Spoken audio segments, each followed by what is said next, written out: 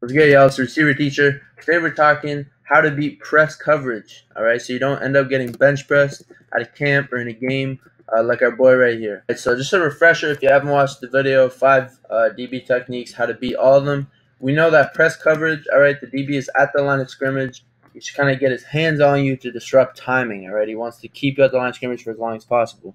An easy way to tell a DB is about to press you is if his weight is forward, all right? Uh, Josh Norman is bent over, all right? His weight is forward. He's ready to lunge, all right? All right, also, if a DB has a staggered stance, all right, one foot is up, one foot is back, all right? Maybe he's looking at the quarterback trying to time the uh, time the snap count.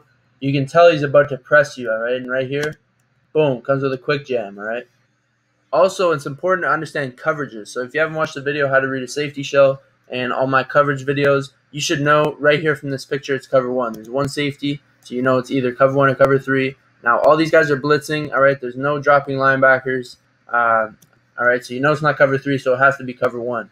All right, so these guys are trying to press you at the line and keep you at the line for as long as possible, not allowing you to get open until these guys blitz the quarterback. All right, and get a sack. And understand they have no help to the outside. All right, which we'll get to after but you want to, you know, give moves to where they have no help. All right. So if you give a one step jab to the outside, all right, outside release fade right here, he has no help. His safety's not going to get there. All right. So maybe an inside move when he's inside leverage isn't going to do as much. All right. Now, when it comes to actually beating press, there's really three keys that help you out. All right. So, number one, stay skinny. Do not give the DB your chest. All right. It's too big of a surface if he gets hands on. And plus, he can grab onto you right here. He can hold you.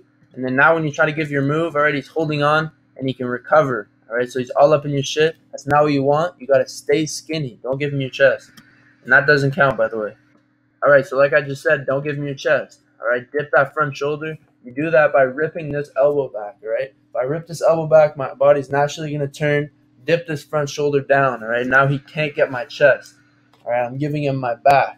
All right. All right. Also, when you're facing press, your hands and feet must work together. All right. As you can see right here, he's just moving his feet and his arms are down. All right. He's not using his arms.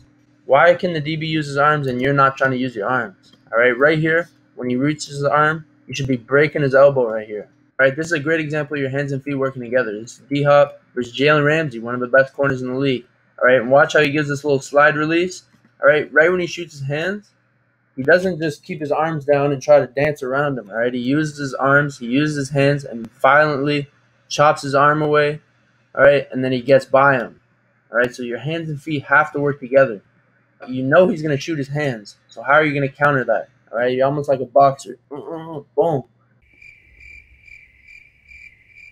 right, so that's step two. Your hands and feet gotta work together.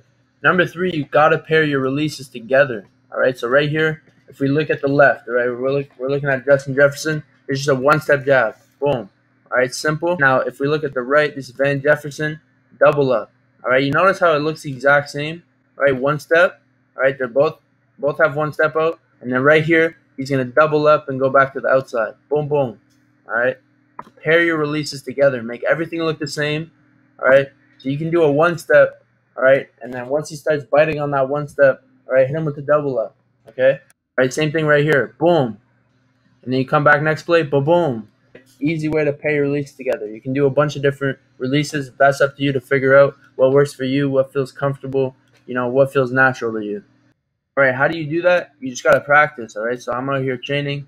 Um, you know, just go, boom, one step, and then pair it with a double up, all right? And take videos of yourself. Make sure it looks the same, all right?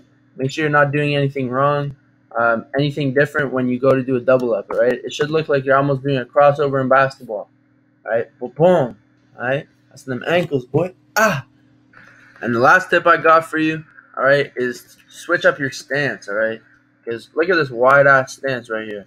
And you know the DB is about to get hands on you. He's down to the line pressing you. All right, having a wide stance like this limits you from being explosive. All right, you know he's about to get hands on, and you know you have to get to a, a position of balance. All right, you got to get your, your feet close to each other. All right, so why start with a wide stance? It takes more time to get to that balanced position. All right, so just bring this back foot up a bit. All right, because, you know, if you don't, you're not explosive, and now he's got hands all up in your shit. almost getting an interception. All right, so um, I hope this helped though. This was the three keys, and really this one was the fourth um, uh, to beat press. All right, there's no secrets though. All right, there's no secret release, magic release. It doesn't matter what release you do. All right, press is not about you know all the slide release, the the 360 spin release, the all this shit. All right, the names you either win inside or you win outside. That's really all it is. All right, and the way to do that, make everything look the same to the DB, and uh, just win in, inside or outside. All right, so again, I hope this helped. If it did, uh, make sure to follow us all platforms at Receiver Teacher. Make sure to subscribe if you're new, and uh, see you next video. Peace.